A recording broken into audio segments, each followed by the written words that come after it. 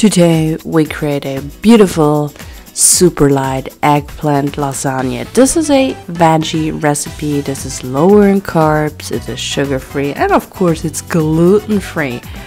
In the summer I just had a lot of pasta. I had the Italian side of my life and it's beautiful. I got inspired and my dad uh, or my parents had such beautiful eggplants. That's why I just created them and this is a super easy recipe perfect for weeknights or for the weekend. So first we start to peel the eggplant with a peeler or with a dicer. You can also cut them into thin slices if you don't have a dicer. Then just go with a knife and just try to cut here very thin.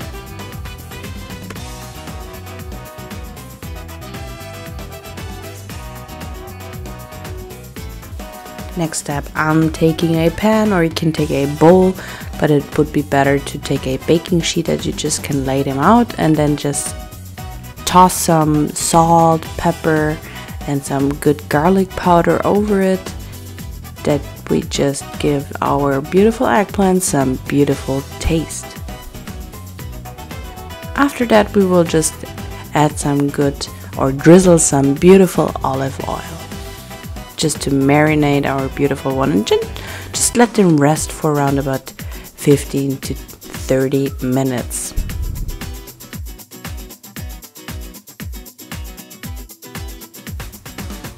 So for this recipe we don't make a bechamel, we'll take your ricotta cheese, you can go with cream cheese or curd or yogurt or whatever you have but I like especially ricotta cheese because it's lighter in taste and it's a lighter version before mascarpone.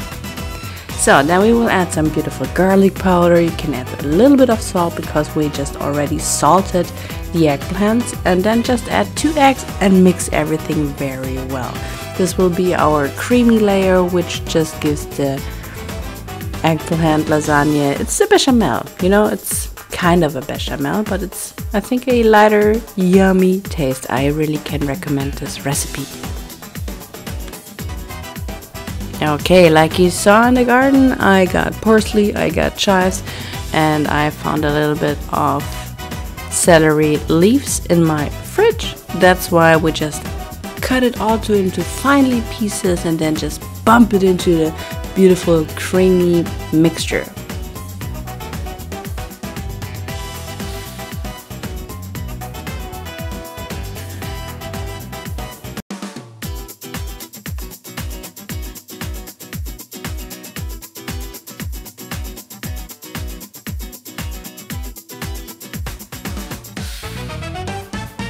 Do you notice? I don't know, when I watch beautiful recipe videos and then people just add beautiful herbs into their food, and then I just think, oh, damn it, I don't have herbs. Do I have to go shopping? Oh, I just leave them out.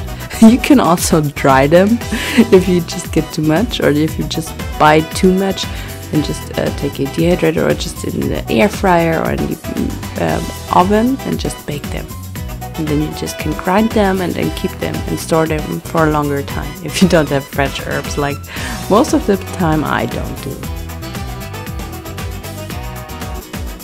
Okay, because I got so much eggplant, I just also cut them into circles and just just to create a little bit of more antipasti for the side, not for this dish, but for a snack or just for the week. So for topping this beautiful lasagna. We will start with a tomato sauce, which is a, just a regular passata.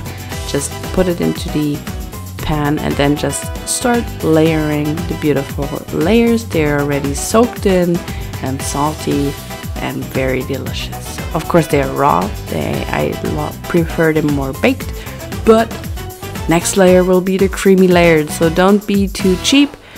Just uh, be very generous because we don't have so much layers. This is a portion for, I would say, two to three persons. And there you go. Start layering. Next layer will be again the eggplant and so on and so on, my beautiful friends. So, because I just fucked up my last footage, we have to bake this beauty in 200 degrees, which is for my friends in the US, 398 degrees Fahrenheit for around about 15 to 20 min minutes until the cheese on the top has fully molten. This, of course, this recipe is not raw.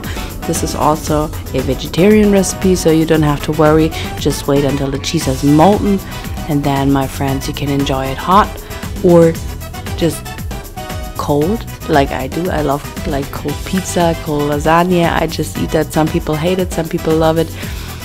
My friends, I hope you enjoyed this video. Please let me know in the comment section below what I can turn for you next time into low carb.